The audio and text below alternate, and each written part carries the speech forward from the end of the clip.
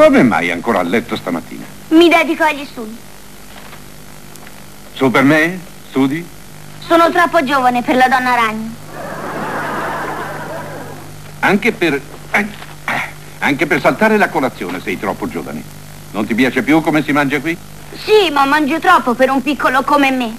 La signora Garrett mi rimpinza sempre. Ma vorrai crescere bene, no? Ma in alto, non più largo.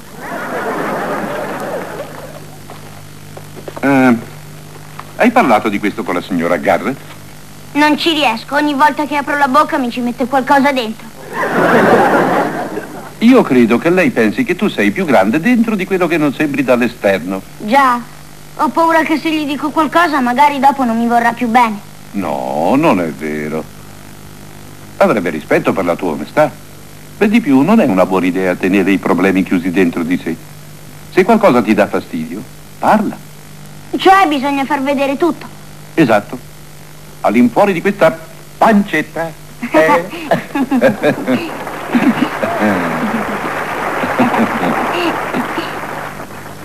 Non sei un eschimese, Willis. Smettila di arpionare quelle frittelle. È necessario se vuoi mangiare quando c'è lei a tavola. tavola. Oh. Quella lì era la mia frittella. Cosa devo fare? Qui mettere le cifre sulle mie porzioni? Devi solo lasciarmi qualcosa. Mm, va bene, Willis. È molto maleducato parlare con la bocca piena del cibo di un altro.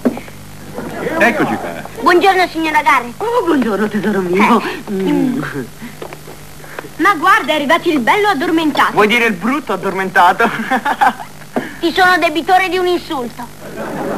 Signora Garrett? Arnold ha qualcosa in testa di cui le vuol parlare. Oh, ha qualche cosa in testa? Non ha testa, è solo un foruncolo che ha sulle spalle.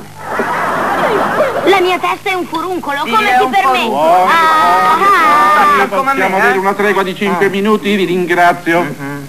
Arnold, va pure. Dunque, signora Garrett, lei mi fa mangiare un po' troppo. deve mangiare un ragazzo che cresce. Eh Sì, ma lei vuol far mangiare tutti i ragazzi della città attraverso la mia boccuccia. Boccuccia. Se la tua bocca fosse un po' più grande ti potresti inghiottire. Ma guarda chi parla, il ragazzo che si infila in bocca le frittelle senza neanche piegarle prima. Diglielo tu, bocca di mallo.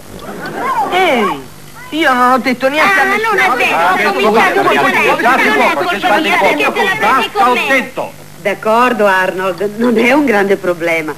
Ti assicuro che da oggi ridurrò le tue porzioni. Lei è una vera amica. Affare fatto. Non è stato facile, Arnold? A casa tutti sono liberi di dire quel che pensano. Allora papà, in questo caso aprire la bocca e ridere come un matto. Ma che cosa ti prende? Non capisci che è svenuta dopo averci visto? Non è vero, è svenuta dopo che ha visto te. È svenuta perché noi siamo neri. Dici davvero? Beh, è bello essere notati. Tu non capisci che ci sono delle persone che hanno dei pregiudizi.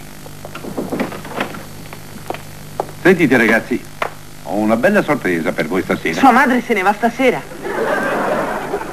No. Andiamo tutti a cena fuori, nel migliore ristorante di New York e mangeremo caviale. Oh, che meraviglia! Che cos'è il caviale?